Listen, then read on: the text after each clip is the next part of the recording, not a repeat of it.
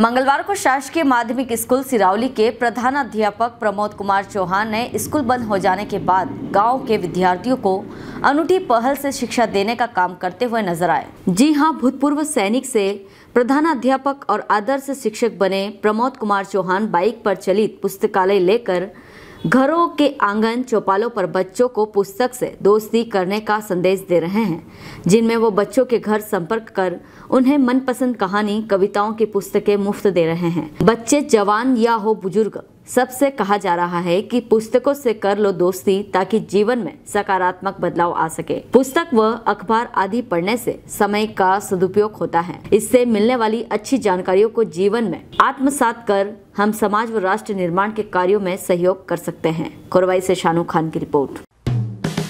Hello friends आप देख रहे हैं हमारा channel S W twenty four news हमारे सारे वीडियो सबसे पहले देखने के लिए आप हमारे चैनल को सब्सक्राइब करें और पास में लगे बेल आइकन को दबाना बिल्कुल भी ना भूलें।